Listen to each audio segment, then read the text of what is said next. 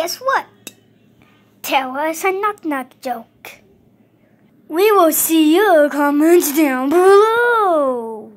Comic, comic, comic. So do it like Neo.